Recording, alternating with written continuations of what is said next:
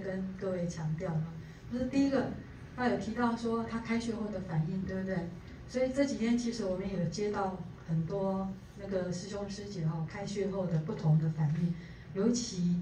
好像那种很亢奋的嘛，晚上精神很好的哈，那还有很多其他的反应，但我们在请魏老师上课的时候哈，跟大家细说分明。但是碰到这种反应的时候都不要怕，好，所以为什么要来上课？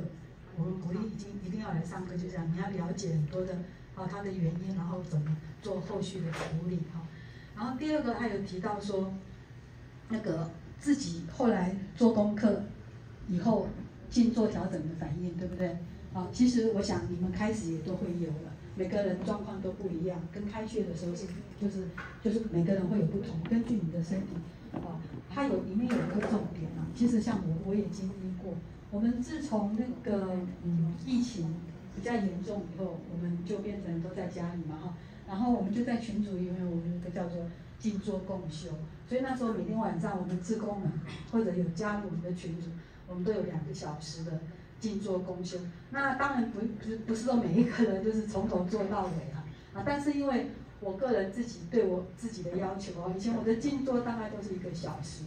啊，有时候就多一点点，因为很奇怪，它会变成像你每天早上起来的时间一样，到了一个小时，你自动你自然就会就会清醒的，就就就会啊就要收工了哈。那后来做到两要做到两小时嘛哈，那我就是老老实实的做两小时。可是哈，就很奇怪的现象就出现了，就在一个多月后之后呢，我突然做到一半，我也不知道什么时间了哈，我就诶我预告。同事就知道哈，那个我曾经拿拐杖，就是脚受伤，那就是去采水果，那很开心呢。人家跟我说啊，这个好大，这个好红，我就跑跑跑，因为那果园嘛哈，就是高高低低的不平，然后刚好中间有个坑，你知道吗？哈，根本没看到脚就踩进去，啊，果园都底下照嘛哈，就整个就被拉扯。那其他他就是整个肿的跟他。比馒头还要大了啊，那也不能走。后来看了好久的医生呢，那时候还没学长生学啊，就是刚来月里的第二年。然后反正就这样治疗，所以我们那时候的关注点或者医生的关注点都在哪里？就是脚踝那里嘛哈，就针灸啦还是什么贴药都是在那边。可是我那天静坐是怎么样呢？我就先从就是当初受伤那个脚一直痛痛到小腿，然后那个痛哈。就好像我当时受伤的那一刻那种痛，你知道吗？那种痛就很痛，痛到我是老庆瓜，坐不住，然后就起来，很神奇哈，起来一下再一下就不痛了，啊，然后又再做，又继续痛，好，然后呢，隔了几天，没没有没有没有几天然后就开始那个痛就整个身就是往上往上。啊，后来我自己在想，我为什么会这么痛？我从来也没这边受伤，怎么样？我就是自己回想，应该是那一次的受伤，还是应该我在奔跑的过程嘛，所以鬼人溜起来了，所以应该其实有伤到这边，啊，那只是我们的关注点没有在这边嘛。那时候痛是痛在这边，但是它应该就是整个都是筋都有拉伤的。所以长生学很神奇，就是说你其实也不用调整，只要你很认真的去静坐。啊，日积日积月累下来，他会帮你打通，然后打通的那一刹那，就刚刚跟我们依萍师姐分享一样，会很痛啊，啊，像我就是痛到，然后后来我就注意到了，我每次一开始这边开始痛的时候，就是一个半小时，就是九十分钟，我很准哦，我我都不用想，现在已经第九十分钟就痛，可是呢，就是慢慢慢慢，一次那个疼痛会怎样？对，一次一次减，一次一次减，它就是慢慢的减，然后有的时候它不痛哦，我就以为它好了，你知道吗？哦，然后气会跑到别的地方，哦，我身上本来就是很多毛病嘛，它转到哪里你就会知道，哎，现在在打哪里哦，心脏也有问题还是啊还是脊椎啊哈还是哪里，哎，就你就知道它的气怎么跑，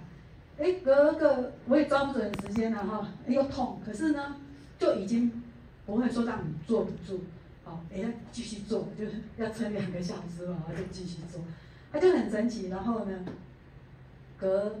应该两三个月吧，好，就是这样痛。慢慢减，慢慢减，痛痛痛，然后就慢慢减的痛痛痛痛痛痛，哎，到后面我现在就已经完全不痛了。好，那我自己就知道它好了。啊，了解这意思吗？它会有一个这个过程。那很可惜的就是我们很多人哈，没有办法接受那个这个好转反应啊。所以老师一直跟我们强调说，你要去赢过那个好转反应，你能不能撑过那个很痛苦，就是当时你的病痛发作的那个阶段。就像我，我想我以前的头痛也是一样，我自己跟自己讲说，我一定不要再吃止痛药了哈。本来就胃就不好，看就不好，又吃那么多药，所以刚开始静坐也是很痛啊，但是你就忍。啊，或者实在坐不住就起来喝杯开水，继续做就继续做，就像我们怡萍师姐的，继续做继续做，对不对？把握时间就做，哎，啊，就是就是这样一直做哈。所以刚刚我们怡萍师姐讲重点，我就这边再就是跟各位再强调一下，说你如果没有办法哈去赢过所这个所谓的好转反应，你就会没有办法去真正去打通你身你。你身体里面哈那个堵塞，或者是那种长期慢性的那个病痛，啊，也有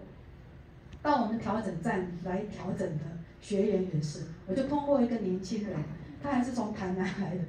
结果我们老师都在台南哦，他反而不知道长生学，他是因为女朋友在狱里，就带他过来我们调调整站那个调整，啊，那我这边不是在讲我们那个。这个那个长生月怎么样？这也跟各位强调说，其实我们真的就是没有打广告，啊，所以就是没有花这种钱去打广告了，所以都是靠就是一个好一个带或者口，哦口耳相传这样。就他要调整站坐下来，还蛮年轻的，啊，那个年轻人跟小孩啊，对这个长生学能量的接受都是很敏感、很快，因为他们的细胞比较活络，所以我们在调小孩跟年轻人的时候，哈。都很快，那个反应都很快，他们很快就会好转起来。